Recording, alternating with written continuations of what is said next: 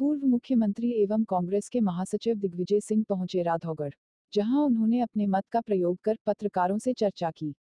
चर्चा के दौरान उनसे पूछा गया कि उन्होंने मुख्यमंत्री शिवराज सिंह के ऊपर ट्वीट किए हैं। उनका क्या मतलब निकाला जाए, जिस पर उन्होंने कहा कि जिस तरह से शिवराज सरकार में भ्रष्टाचार हुए हैं और जिस तरीके से उन्होंने अपनी सरकार चलाई है, इससे उनका अंत समीप है। साथ ही उनके दूसरे ट्वीट पर वो बोले कि देश भर के सभी साधु संत उनसे नाराज़ हैं। ऐसे में वह कैसे आगे राज कर पाएँगे? द पावरफुल फिंगर एक मिनट एक मिनट हिलाना नहीं हिलाना भाई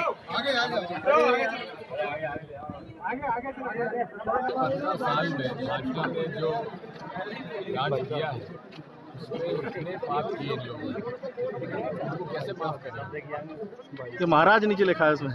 हाँ तुम्हारा साधु संतों के खराब ने आप नारा दिया ना जो नर्मदे संसद हुई है जबलपुर में उसमें उस संसद में ही उन पर ये आरोप लगाया है।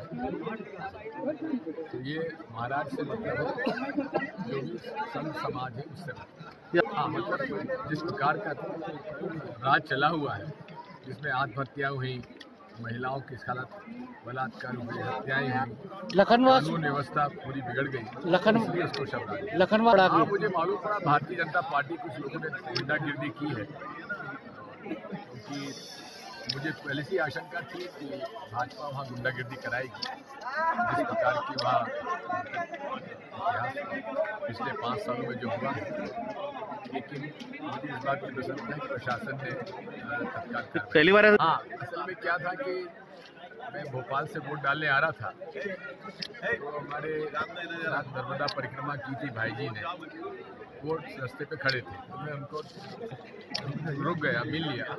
इतने में भाजपा की उम्मीदवार हैं वो आ गए, कुछ लोग आ गए। उन्होंने आपत्ति की।